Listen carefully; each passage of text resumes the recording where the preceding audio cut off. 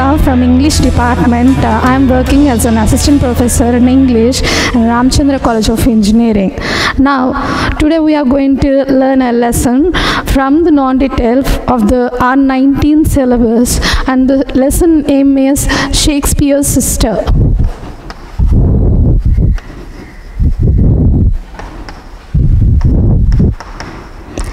Shakespeare's Sister by Virginia Woolf.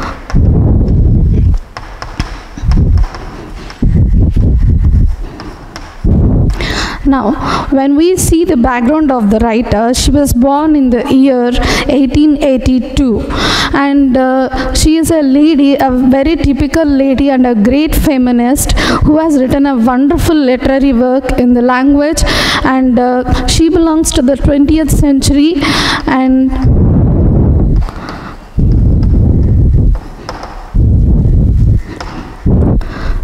Yes, she belongs to 20th century and uh, she has kept the title as Shakespeare's sister.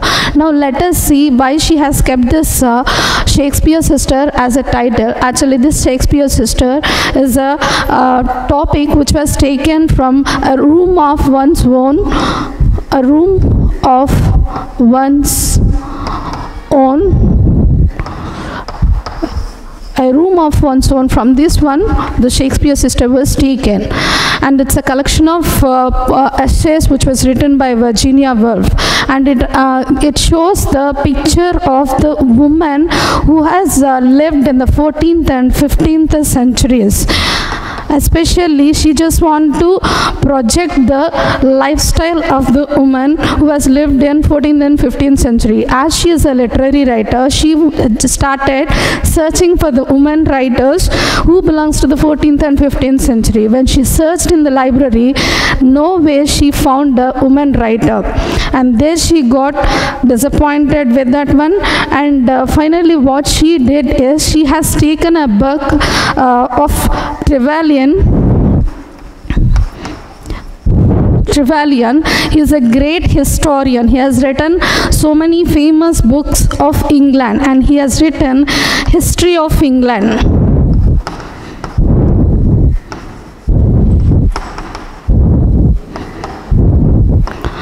And when she started reading this history of England, Trevelyan has projected uh, so many issues which are related to the 14th and 15th century. So she started searching what he has written about the woman in those centuries. So when she started reading this uh, literary work of this uh, famous writer Trevelyan, what she found is nowhere no information is given about women in the particular centuries. It means she, uh, she just thought that what actually she found in Trevelyan works is wife beating is considered as a right of a man in those centuries. And uh, uh, in spite of the class they used to beat the wife like anything. And uh, women suffered a lot in those years and uh, they were not given opportunity for the education to get educated. They were not sent to school. Girls were not sent to school. And they didn't have uh, what you, uh, they didn't follow what you call anything which is uh, desired in the heart. For example, they didn't have any social rights. All the time, parents used to control the girls more. And uh, even these girls don't have their financial freedom. At the same time, what happened is parents used to force the girls to get married at the age of 14 and 15 years itself. If they rejected to do so, then definitely they used to lock the uh, lock that girl into a room and they used to beat that girl like anything. And this is a condition. So Virginia Woolf she just found these uh, things from the Trevelyan work and she got greatly disappointed because of the situation of the woman in 14th and 15th century. Actually even in the 16th century also what happened is the marriage issue is not at all a personal thing. Always it, always depends upon the parents interest and they used to force the girls uh, without her concern this marriage has to be done and later in 17th century also the same thing had continued. The girls used to be treated like slaves. And when we see uh, the lifestyle or the what do you call lifestyle of the woman in famous writers in the literature we can take from 14th and 15th century shakespeare is the greatest writer. When we see the shakespeare lady characters then definitely you can see a nice picture of woman but see something like cleopatra and uh, desdemona rosalind all these characters shakespeare's heroines they are the shakespeare heroines and sometimes they have given uh, great lectures regarding life in the novels and in literary work of Shakespeare. But when it comes to reality, definitely the women are not given that much of importance in the families or in the society. So what happened later, the 17th and 18th century also, the same thing has continued and the women were treated as slaves or the servants and they were not given any opportunity to project their talent. Even a lady has a talent or intelligence, definitely they were not encouraged. On the other hand, they were treated as witch of the society. They were thrown out of the village and they were they has to lead their isolated life there itself just because they started thinking in a different perspective. And this is a condition. And uh, when we observe the Shakespeare is a genius, in those years, a famous person is there, something like this England was ruled by the Queen Elizabeth I. And in those years, it's very saddest thing that ladies were not allowed to get their education and they don't have any rights to uh, At the same time, they were beaten and harassed by men and it was treated as uh, legally right of a legal right of a man. And here when it's come to Shakespeare plays and all, she, he was given an extraordinary place to the woman and all the heroines are excellently projected in the place of Shakespeare. But when it comes to reality, it was not like that. So what happened is, a famous bishop also, what he said is about uh, Shakespeare, when he started speaking about women, no woman in the present or the past or even in the future can possess the genius mind of Shakespeare. Then she started writing the title Shakespeare's sister. If at all Shakespeare had a sister in those centuries, then what could be the condition of that particular girl? If at all the same girl is having the same genius mind like Shakespeare, then what are the conditions she would have faced in the family? Because they were not given no, no education, no financial support, not even a chance for their personal issues or decision was considered. So here what happened is Shakespeare. So Virginia Woolf started writing an imaginary character called Judith. This she is a girl and she is a sister of she is a sis younger sister of Shakespeare. If at all she is born in those centuries along with the Shakespeare, obviously Shakespeare went to the grammar school and he learned Latin and uh, to find out his fortune he went to London, he joined the theater, he became an actor, he became a uh, writer and he got a very good name in London. And uh, he was a famous figure in those years. And people are very crazy about that man and they used to treat him as a genius because of his work. When it comes to judith here she was not given the chance for the education. She was not sent to school. And at the same time she was not gi given freedom by the parents like her brother. And at the same time what Judith used to do is secretly she used to uh, read the work of Shakespeare. Whatever the books the, her brother has used, the same books she used to read. By born, she is a genius like Shakespeare. So obviously what she has done is she started even writing a literary work, poems, something like that. But one, what happened is parents have found that she is writing the literary work and all.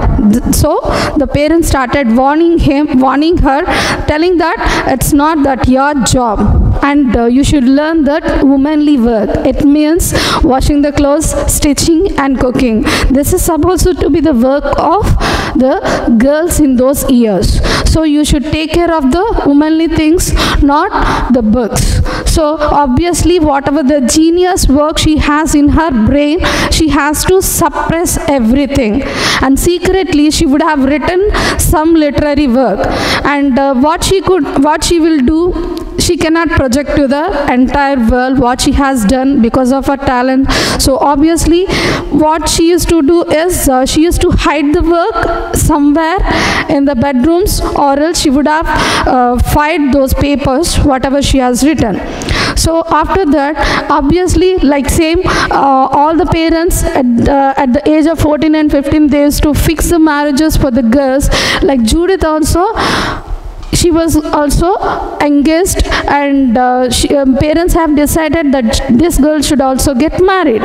So when Judith had rejected that match and she rejected for the marriage, then the parents in the beginning they beaten this girl. They have locked up Judith into a room and they have beaten like anything.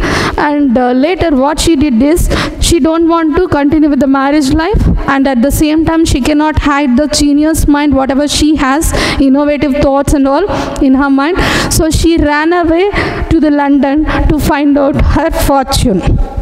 So in London, what happened is there she approached the theaters for the work to be given as an actor and she want to write even some literary work but nobody encouraged.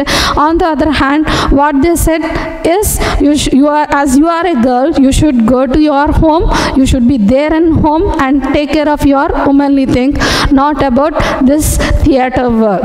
And uh, later she went to the each theater finding for the job and all. Later she found a man uh, who is a called nick Nick John.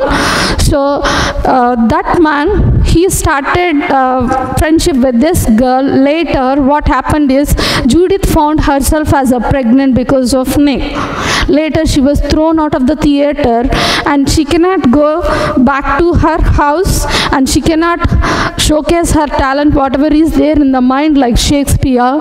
So she committed suicide in the crossroads of London and she died. She ended her life life like that.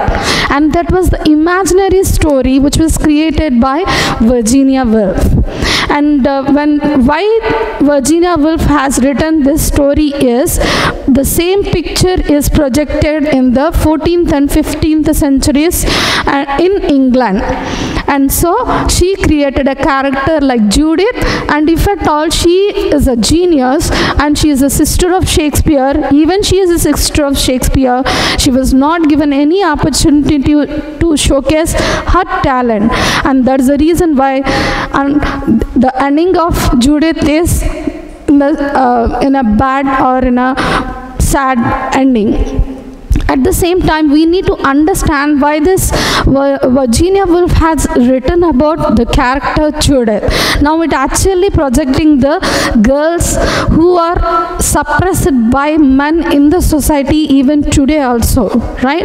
And uh, she is telling that even judith is living among the girls those who cannot showcase their talent to the entire society. When they were not given chance to project their talent then definitely they will commit suicide. And uh, there is a reason why she died like that.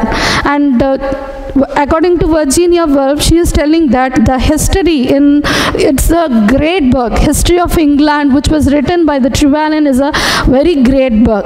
But nowhere in the history women were given importance. On the other hand they didn't even mention a name of a lady who has struggled for the what freedom or whatever the active movements have taken place in the england. Obviously obviously they would have taken a part in the whatever the things have happened in England to change the society politically, economically, financially. Obviously, the women are there in the background, but nowhere the information is given by the historians. And she feels that it's something like an insult, and she got depressed of that reason, and that's the reason why she has written a room of one's own telling about the girls' rights and all the basic rights of getting education and having financial freedom and at the same time they should have their own decision for the life especially for the marriage. Because they were forced in those centuries they were forced to get married of the parents choice even at the age of 14 and 15 right? They are not up to the age but still they were forced to do so and when it comes to the uh, 17th and 18th centuries and 19th centuries, what happened is the same thing is followed. Even there also, 17th and 18th century also in England, what happened is least people are there in the woman those who got a right to choose their husband. And in the 19th century also no writers are there. They didn't got educated so they didn't write any literary work. At the same time they were not allowed to write their own diaries. What is the lifestyle of the woman? Everything will be there in a diary usually. So now chance is given for the ladies because they do they are illiterate and they cannot write their lifestyle to showcase their uh, lifestyles to the future generations and all. And when it comes to the 19th century, yes, a change has come in England, but what happened there is ladies, those who are literary, very uh, good writers and all, they used to change their names as men and they used to publish their books. Then only the work used to come in the society. Otherwise, the, even the publishers also not used to accept the work of the ladies. That is a condition. But here still you can find and some of the names of the men behind a lady writer is there who is projecting a heroine with the great qualities and all and possessing a good qualities to develop the society. And, and she belongs to the 20th century. Virginia Woolf belongs to the 20th century and so she just has referred the entire history and she started from 14th and 15th century. So there she didn't find any information about the girls and even the 16th century the same thing has continued and 17th and 18th and 19th century they were only least bothered. Only few people got their name. And in 19th century obviously the women used to project their work with the men's name. They were not given chance to project their real name and that is the saddest part. So she just want to project the entire picture what has happened in this history till now and now she is telling it they women also have rights to be there in the history along with the other people those who fight for their rights and they developed their country whatever it may be the conditions they are also there along with the man in england especially she is talking about in england. But now she is telling the history has to be rewritten again. Otherwise a supplement has to be attached with the work of women those who have done and done something for the development of england. And this is what entire picture of the shakespeare sister. So if at all shakespeare is a genius yes of course. She, he is a genius. He has written wonderful works in the literature that decades and centuries together the people remember that man as a great man and a genius work in because he has done genius work in the literature. If at all he has a sister what would have happened? That is what she want to project through this lesson. And this is all about this one. And if at all you have any doubts we'll discuss in the next session. Thank you very much icon and my a girl about a